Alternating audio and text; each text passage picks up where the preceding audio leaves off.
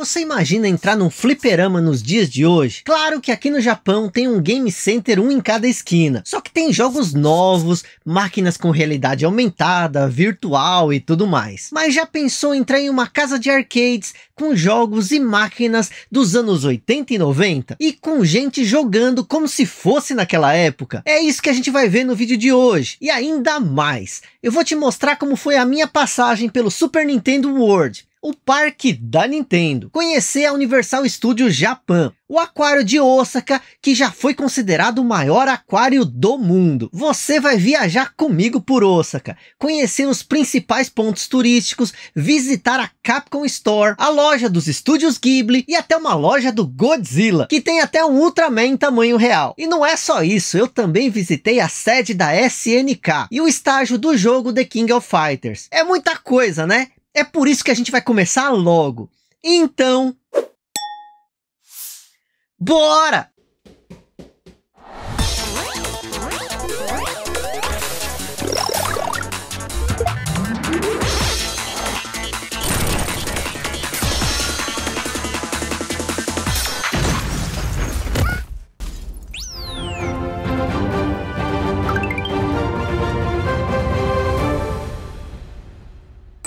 Você se situar. Osaka é onde fica a Universal Studios Japan, um parque temático dos filmes da Universal como Harry Potter, Tubarão, Jurassic Park, Homem-Aranha, enfim, tem um monte. Não tem só recriações dos locais icônicos desses filmes, como tem também alguns brinquedos de realidade virtual, que te fazem literalmente participar desses filmes. Também tem locais reservados para os animes que fazem sucesso por aqui. Quando eu fui, estava uma febre de Kimetsu no Yaiba, ou Demon Slayer, e lá também fica o Super Nintendo World, o parque da Nintendo. Eu tenho pouquíssimas imagens de quando fui para lá. Tem uns stories que eu postei no Instagram. Aliás, se você não me segue, me segue lá, arroba Vitorisui. Gravar mesmo foi pouca coisa. Essas imagens que você tá vendo são de vídeos que eu fiz para mostrar para alguns amigos. E você vai me perguntar por que que você não filmou nada aí?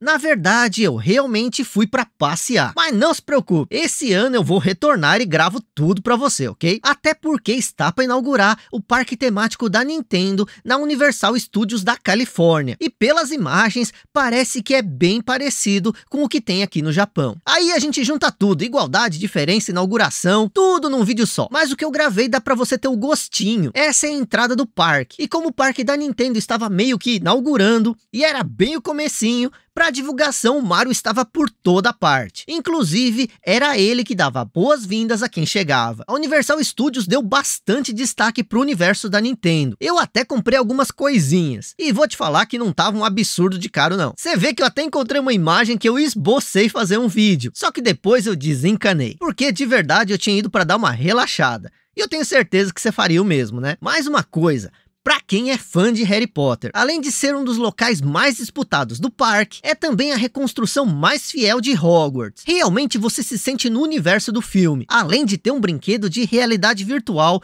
que te coloca numa partida de quadribol com o Harry e todos os personagens do filme. Olha, vou te falar, já deu até vontade de voltar lá, hein? Outro local que eu dei uma passada por lá foi o Aquário Kaiyukan, que na época que foi inaugurado era o maior do planeta. Hoje, com certeza, não deve ser mais. Só que mesmo assim, você se sente minúsculo, principalmente quando chegamos na parte onde tem as grandes baleias. De fato, dá para ficar ao lado de alguns desses animais. Algo que me deixou bem impressionado é que os peixes, mamíferos, aves que vivem naquele aquário estão em sabe? Parece que nem tem pressa e nem se sentem observados, porque é meio que isso. Eles nem sabem que estamos do outro lado do vidro. Aliás, nem devem saber que estão em um aquário, exatamente pelo tamanho do local. Ah, e tem peixes de várias regiões, inclusive do Brasil. Outro ponto importante se você for para esse aquário, a sensação é de estar fazendo uma viagem pelo planeta, pois além da entrada já te presentear com um corredor, em que é possível ver a imensidão de água e de vida que existe naquela parte, cada local tem um clima próprio. Vou te dar um exemplo. Quando vemos os pinguins, o clima deles é de um local mais gelado e, portanto, é um ambiente frio. Agora, se estiver observando peixes tropicais, a temperatura já é mais alta. Então, esteja preparado com roupas para todas as estações. Ah, quase ia me esquecendo. No final tem um local reservado para águas vivas e é realmente incrível como esses animais têm cores e brilhos surreais. Muitas vezes parece que não tem nada no aquário e quando se acende a luz ocorre uma reação química e um show de cores aparece. Pena que a câmera não consegue capturar todas essas cores, pelo menos com a sua beleza inteira. Então recomendo você ir pessoalmente. Com certeza o local mais visitado e movimentado de Osaka é o Dotonbori, um local de comércio, passeio, com muita comida e muita coisa legal para as pessoas como nós, que gosta dessas coisas geeks, interessantes e tal.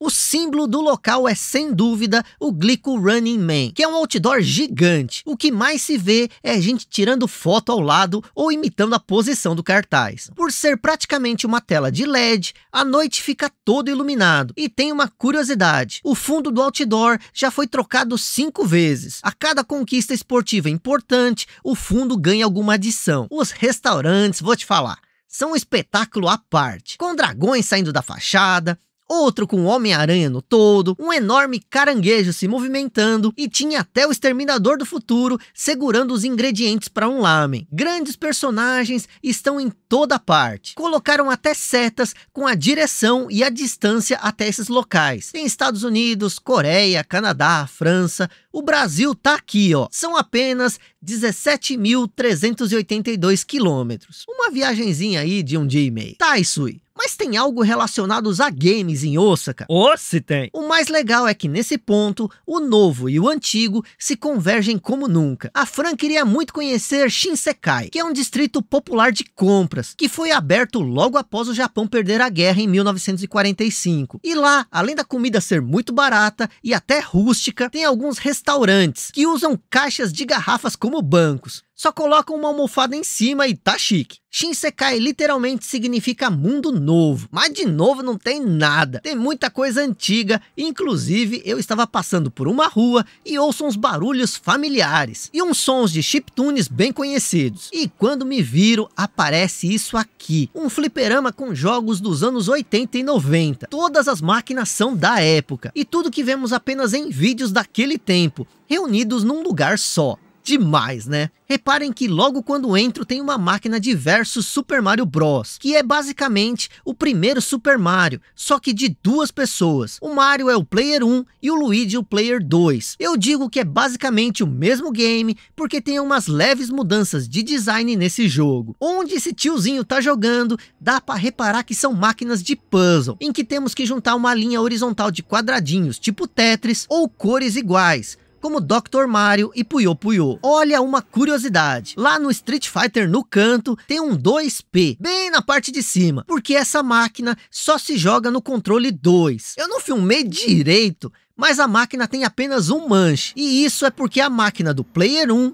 está do outro lado, que vai aparecer no vídeo mais pra frente. Dá pra entender bem pra quem viu o anime High Score Girl, que eles se enfrentam exatamente desse jeito, com cada um numa máquina diferente. Quando foi lançado o Astro City Mini, muita gente nem sabia direito o que era aquele arcade. E na verdade, AstroCity era um modelo de gabinete produzido pela SEGA, e muitos jogos tinham esse modelo, por isso ficou bem popular por aqui. Nessa parte do vídeo dá pra ver bem vários AstroCities. Agora, ó, nessa imagem dá pra ver o que eu te falei, que esse Street Fighter só tem um manche e um jogo de seis botões, e em cima tá um. OP. Fala a verdade, até parece o Game Center do anime. E você percebeu a sequência de máquinas Astro City, todas iguaizinhas, e também do mesmo modelo, só mudando o jogo e as instruções de comando, e para que serve cada botão. Essa parte tem um chumamps, e tem o Area 88, ou UN Squadron, um jogo bem popular de navinha, baseado num mangá que se valorizou bastante ao longo do tempo. Tô até pensando em fazer um vídeo sobre esse jogo, e de relance deu pra ver a logo incrível da Iron ao lado com o divertidíssimo beat'em up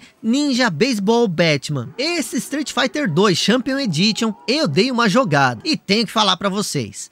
As máquinas que chegavam pra gente aí no Brasil eram bem alteradas na dificuldade. O jogo dessa máquina estava bem fácil. Os jogos da SNK geralmente tinham um nível de dificuldade à vista na máquina, no canto inferior da tela. mas os da Capcom não. E por isso não dava para saber em qual dificuldade o dono da máquina tinha deixado. E outra coisa é que essa máquina tinha dois jogos. Dá pra ver que tinha Street Fighter 2 Champion Edition e Marvel vs Street Fighter. E agora sim, ó, dá pra ver direitinho a máquina que eu mencionei com apenas um manche e um jogo de botões, e o 1P em cima da sua, entre aspas, irmã. E para finalizar esse tour por esse Game Center, o versus Super Mario Bros. Agora com mais detalhes. Eu saí de lá feliz da vida, achando que tinha encontrado a mina de ouro de Shinsekai, mas não. Esse era apenas um de vários game centers clássicos da região, uns maiores, outros menores, alguns só com jogos de luta, outros só com shumamps e tinha até alguns bem pequenos, que eram apenas um corredor,